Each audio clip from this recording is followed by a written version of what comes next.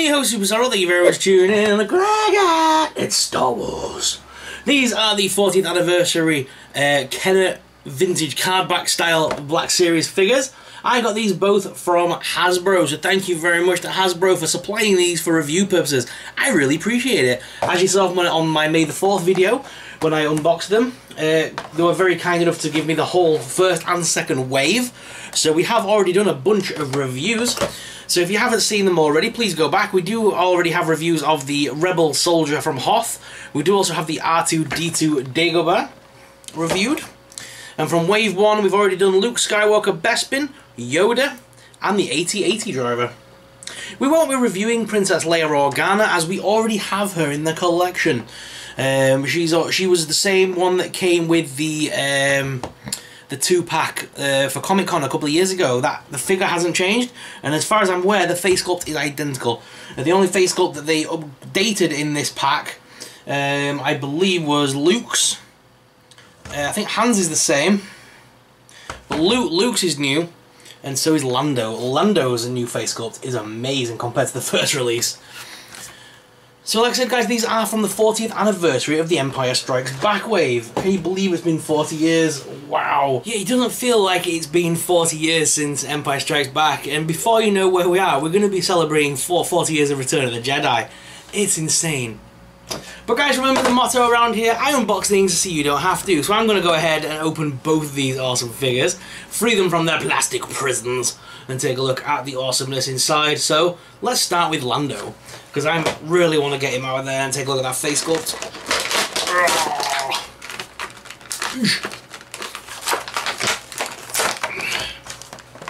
Okay. So ever since this one was announced, I literally got rid of my previous Lando more or less instantly when I knew this one was coming. Because the, the face sculpt on this is just so much more superior.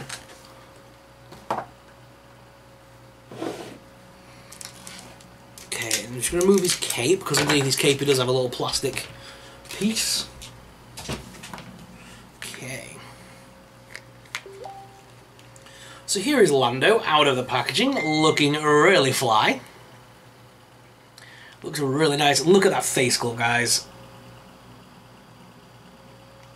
How amazing is that face sculpt? Really love it. so, we're going to remove the cape for a second while we look at the articulation on this figure. So the head is on a ball joint, so you can make him look... Ooh, need to warm up these joints. Down and up, as well as left and right. The arms do lift up at that top hinge and do rotate. You can actually rotate them all the way around, which is pretty nice.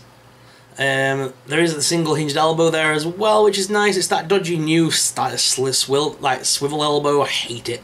And the hand is on a ball joint there, so you can rotate that around. There is the abdomen crunch there, and there's also a bit of tilting for the swivel at the base there. There's no waist swivel though, it is just the crunch at the abdomen. His legs do lift out pretty much all the way, as well as forwards, backwards. There is a top thigh cut included in there. There is a double hinged knee here as well, which does require a bit of pulling to, to activate, but there we go. He's very sturdy as well. You can hear them clicking into place, so you know that's not going to go loose anytime soon. Um, the legs on Lando are a little bit out of... There we go, a little bit out of uh, griff there, so I've just put those back. Yeah, that's matching up now. And the feet are on the rocker and pivot, and there are little holes in the feet should you wish to use a display base. I've never had to use a display base with any of my uh, Black Series or Marvel Legends for that matter. I've been managed. I've managed to be able to even the loosest ones I've always managed to uh, fit on somehow. Lando does come with his blaster and a couple of accessories. We'll take a look at those at the Muppet Labs in just a few moments. I'm just going to put the cape back on there. As you can see, it's a nice blue, hard plastic cape with a golden exterior. I am hoping that I can bump into some customizer one day that will be able to supply me with a nice soft goods version of that cape uh, blue and gold like that because I would much prefer a soft cape, especially for, for figure photography. This just looked plastic. So on, on a, for a nice detailed like photograph of Lando, I'm really going to want a proper cape for him. So guys, what are your thoughts on Lando? Especially that new face sculpt, it looks real nice. And the hair as well, everything about it looks, pro it just looks like Lando now. Very happy with that. It looks like have they have they used the face from the disguised version? from Return of the Jedi. Looks very similar to that face sculpt. Because they updated the face sculpt, didn't they? For that one, if I remember rightly. But let's get Han out of the packaging as well. And take a look at Han. Now, from what I understand, this is that this is the Han that came with the. Uh, it was like a special pack, and he came with like the breathalyzer thing, and he came with the like, like them bat creature things. I never know the names of them. But I believe this has come in a pack before, and this is basically a repack of that one. But I never got that one, you see, so I've never had this, and I never got the single pack release either. So I've always been missing this this Han Solo. Hence why I'm opening. I know so many people out there right now are going to be saying the same thing of, well, why didn't I just track down the single card boxes and keep these boxed? Because I don't do that. I don't have anything in boxes at all in this room. Uh, there's only like I think I've got like two or three items that I keep boxed, and that's it. Everything of mine is uh, unboxed. I've got a dodgy arm with this Han Solo, and it's I don't want to pull that too hard and break it. So I'm going to warm that up, I think, before I, can... Oh yeah. Oh yeah, I can feel that pulling. I've got a dodgy arm this Han Solo, so please watch out if you do get uh, the Han Solo from this collection. That arm on this one, as you can see, is incredibly stiff, look. Uh, it moves outwards and it moves round and rotates. It's the elbow hinge that's completely stuck, and I'm pretty sure if I played around with that anymore and bent it, it's just going to break. So, I'm going to have to heat that bad boy up. But I can show you on the other arm, I think. Yeah, the other arm does does the crunch, so... So that's on the ball joint again, make him look up and down pretty far actually on this one. face sculpt this one's pretty nice as well. I've always laughed over the years at Han Solo faces because you know they remind me with the jacket and stuff? It always the, the face sculpts always remind me of Ashton Kutcher from that 70s show. It always looks like Kelso in my opinion. but this one actually does actually look like a young Harrison Ford. It actually looks like him this time around. But you can still see that resemblance to uh, Kelso, I think, from that 70s show. but this one actually does look like does look like Han pretty well. It's actually a very nice uh, head sculpt. I just need to get that arm sorted, otherwise it's going to be a pain. Yeah, it's nice to pose though. It's a very nice figure. Like I said, his arms do lift up and do rotate at the hinge and stuff like that. Hands are, hands are on a ball joint. Uh, we've got the waist swivel there. We've got the ab crunch. Uh, legs do lift out as well as forwards, backwards. Top thigh cut there as well. Oh, very stiff. There we go. Top thigh cut. Double hinge knee there. And the feet are on rocker and pivot. Again, very stiff feet. Ooh, very stiff articulation. Definitely going to need some warming up. So please be careful when unboxing your Han Solo.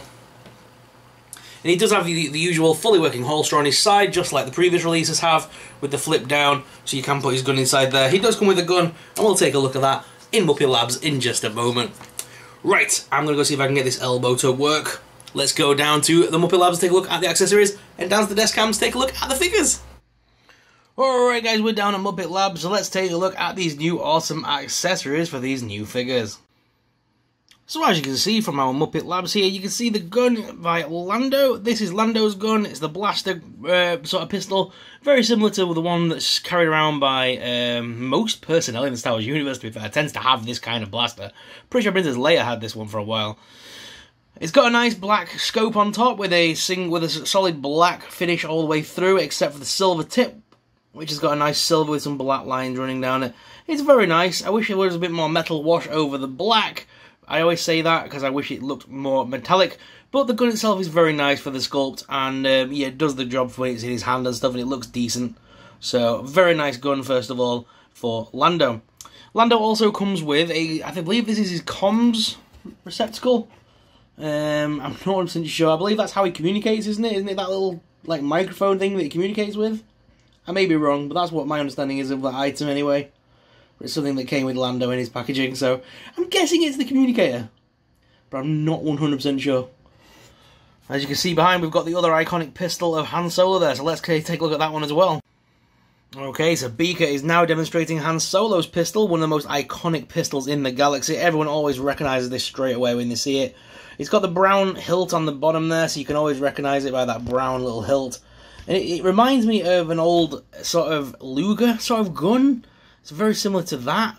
Um, again, I wish they'd have put more detail into it. There's a lot of switches and nubs and things like that on this gun. if I can get it to focus. Um, there's a lot of like switch switches and things they could have like used for the detailing, but they haven't. It's just solid black. I wish they'd have added more silver and chrome or other other colours to it, just like in the movie, because it's not solid black with just a brown handle. There is silver bits to it, especially on that end nozzle bit. That end nozzle bit, I believe, in the film, solid silver. So anyway, it looks decent though for what it needs to be. But let, let me know your thoughts on the guns and the accessories that came with these figures in the comments below. So here they are, guys, out of the packaging. The two most scoundrelous smugglers in the galaxy. Don't know why I turned into the Emperor there when I said galaxy. Galaxy. these are, like I said, these are based on the old Kenner style. You see the Kenner logo there in the background. These on the old Kenner style cardback figures that everyone grew up with in the sort of 1970s and 80s. Um, I didn't grow up with them, sadly. I didn't get Star Wars toys until I was later on in life, until like Phantom Menace time. Now, I had a few vintage figures, but nothing too crazy. I was more into the 6 inch line, and Star Wars back then was predominantly a 3 inch series. So, as a kid, I never really had any of the vintage ones. That's why I think I don't feel as nostalgic playing with these ones as some people are, and that's why some people are keeping them packed. So, I think that's one of the reasons why I'm, I'm easily to unbox these. Uh, but I love this figure nonetheless. This Han Solo is real nice. That face sculpt is great. The hair and everything's perfectly sculpted even down to the holding of the gun and stuff with the finger through the actual trigger. Everything about it is just accurate, and I'm loving the holster on this one as well. The way it sort of swung down to his leg, just it, it reminds me like the Lone Ranger kind of you know cowboy gunslinger sort of thing with that yellow stripe down the leg as well. Just adding extra detailing things to the figures. Super nice, screen accurate. And then, of course, you've got Lando as well with that new awesome face sculpt, which just looks superb, looks just like him. Uh, again, the rest of the figure is more or less the same as the previous one. Although I have noticed a few things. The the the, um, the actual wrists look very small in this figure due to the the way it's been designed. But one thing I do want to show you, they have remembered to include his little wristwatch that he has on the inside of his wrist on his firing arm. So that's pretty cool. They remembered something like that. Something so minuscule and, and, and small as well. So that's great they remembered to do that. Like I said, this figure does look like Billy Dee Williams this time around. So they've definitely hit this one out of the park. I just wish we had a cloth cape because the as you can see the plastic cape's already falling off his shoulder from when I'm posing him up, so it's going to be nigh on impossible to pose properly the way I wanted to. So cloth cape, if anyone can hook us up with one, please let us know in the comments. But otherwise, two very awesome figures for the Star Wars line. What do you guys think? Let me know in the comments down below. And what do you want to see me review next? We've still got the um, TIE Pilot and we've still got Luke in Snowspeeder outfit. So let us know who you want to see as review next. Alright guys, let's go back to the main cam and finish off this video. So guys, which is your favourite of the two figures? Are you a Lando fan? Are you a Han Solo fan? let us know in the comments down below. If you enjoyed today's video, guys, then please make sure you smash that subscribe button. Subscribing really supports us. It really helps us out and helps us to keep making awesome videos. Thank you very much for watching, guys, and until next time, may the Force be with you. Bye!